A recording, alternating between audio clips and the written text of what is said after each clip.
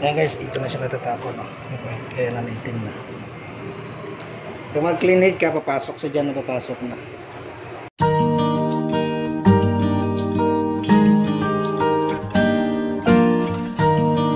Guys, Epson. Epson na ako to. Ano ba model to? L310 yata to. L320. Yan o. Epson. Yung problema niya, ga-blink. Yan.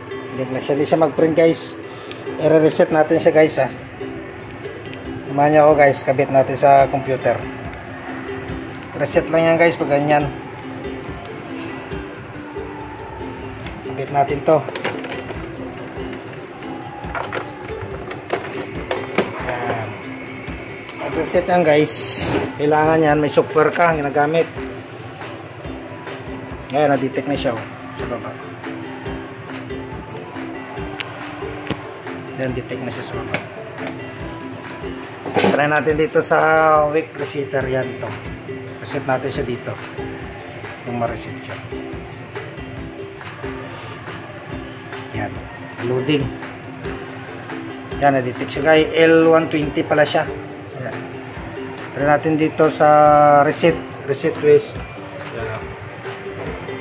Yan, reset waste counters. Click natin yan. Yan, loading. Tapos hingi siya ng key guys. Hingi siya ng key. Try, lagay nyo lang dyan. Trial. Trial. Yan, trial nilagay ko guys ha. Yan, trial. Tapos click nyo OK. Yan, loading siya. Nakalagay dyan oh, 80% lang na trial. I-yes mo na lang siya to continue. Loading na yan guys. Yan, nag-red siya oh. Yan, please turn off your printer. Patayin natin ang printer natin. Yan, patay na. On natin ulit. Yan, hindi na siya nabiblink yung orange. Kasi na-reset na siya eh. Yan, galuding siya. Yan. Pag mag-steady yan, yan, steady na. Pwede tayo mag-print. Mag Try natin guys, print. Steady na siya. Ganun lang kabilis guys mag-reset ng printer. May software ka lang.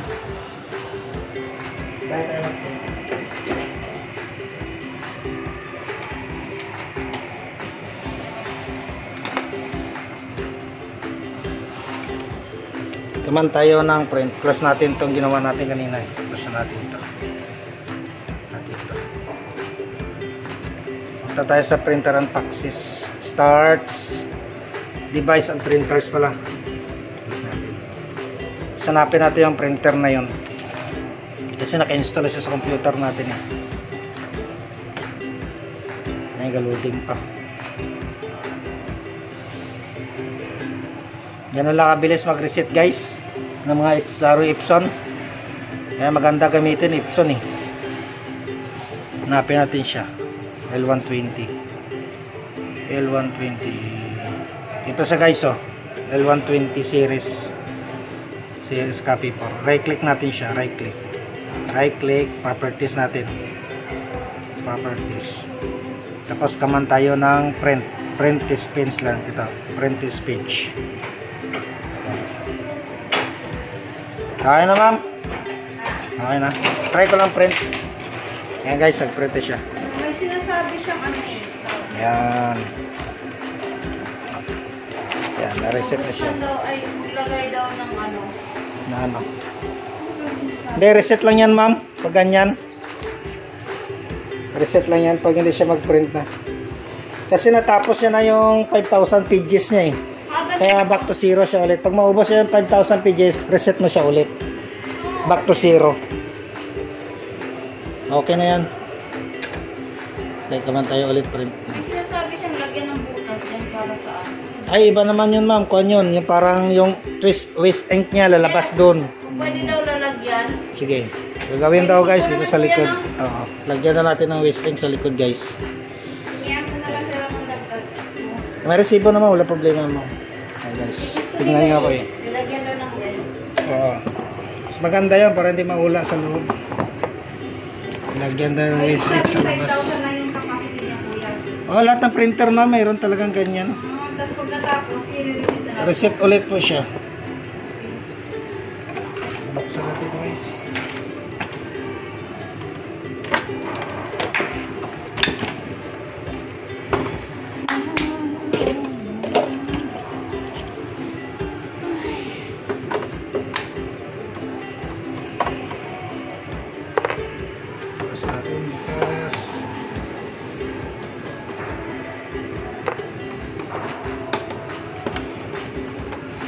Problema, wala tayong bulto eh. Saglit na lang.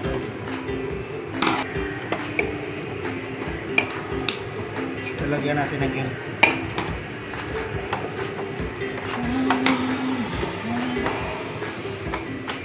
Ang skull ba ito, ma'am? Hindi po, ginamit ko sa clinic. Ah, sa clinic.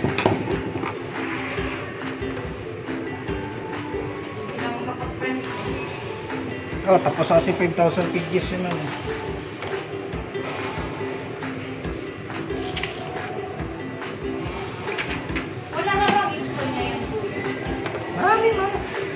Out of stocks lang. Out of stocks lang. Nakaraang taon pa kasi na ganun. Hinanap na dito sa Puro Brothers at saka ano. HP. Ayawan ng kapatid ko eh. Gusto na Ipson. Epson maganda. User friendly Epson. Madali. Tama, madali siya i-repair. Kaso nga lang ulit gusto niya. Gusto kasi ng kapatid ko 3 in 1. Ayun, ma'am. Online try ka. PC Express. Kaso nga lang kung ano po, kung online po, hindi, wala po yung eh. Hindi, pag brand new naman, wala nang problema. Ang brand niyo po. Hmm, Wag lang si Kinan. Hirap eh. Pag ganun, paano ito sa office? Oh. Nakaparepair ka, panggastos din. Try mo sa kuan, PC Express Festival. Galing kami doon eh. Wala rin. Wala. Out of stock daw. Dami kasi bumili ng Epson kaya naubos. Maganda kasi Ipson ko yun. Tayo mo next year, baka may palabas HP wala rin, hindi ko nagpansin. Kahit HP. Eta ko, wala.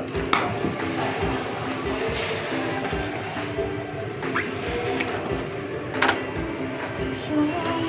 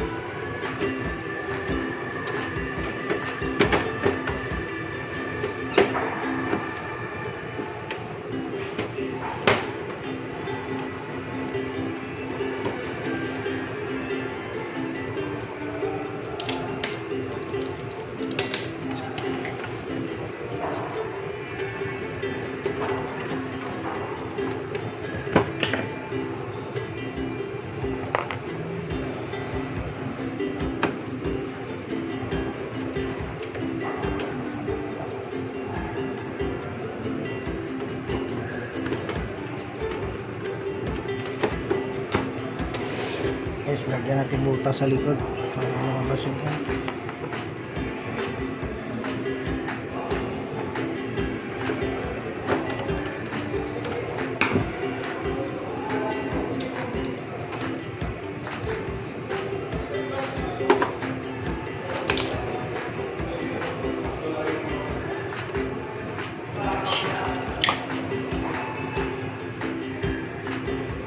Ito na lang itapon-tapon nyo pag mapuno. Pero hindi siya dapat pabutin dito sa butas. Lalabas kasi yan eh, dito sa butas. Abot siya.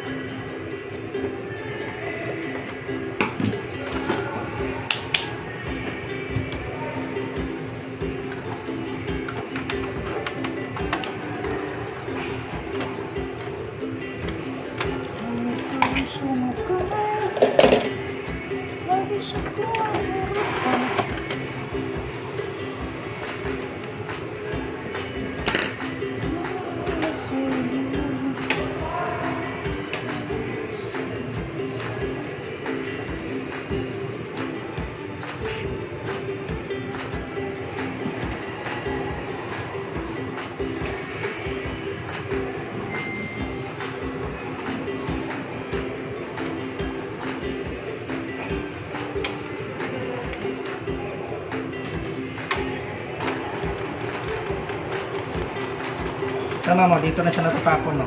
Kaya na siya. Kita mo ba? Ayan guys, dito na siya natatapon, no? Kaya na may itim na. Kung mag-clean head ka, papasok sa dyan, papasok na.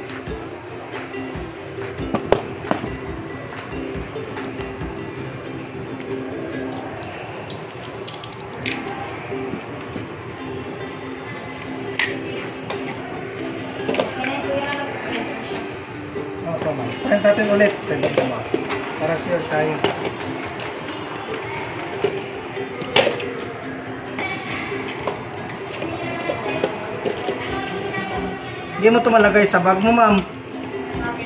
Eh, may kwa na siya eh. Maula to sa bag mo. Hindi okay hindi naman na sinasala yung bag.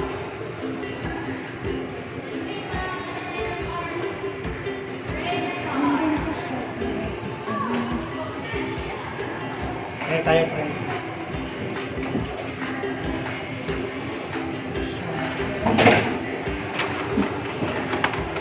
Wala tong dalang kuan, mama. Yung Wala stand. nandun ko, iniwan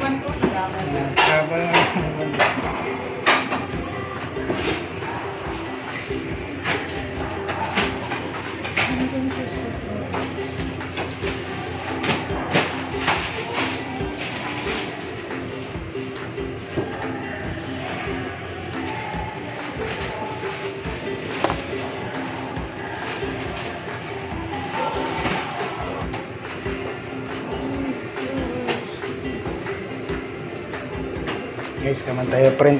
Ayan, nilagay natin. Oh. Yan. Ganda siya. Ayos na ayos yung print na. Kompleto yung kulay. Yan lang. Ayos na ayos.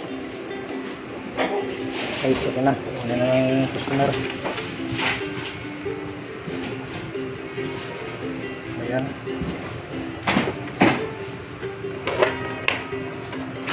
Hanggang to sa kapal.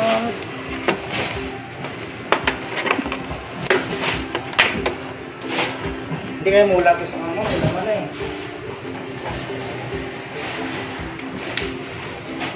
Ayan guys, nilagay na sa loob ng printer. Thank you mama. Thank you po. Salamat po. Guys guys. Kuya. Ako.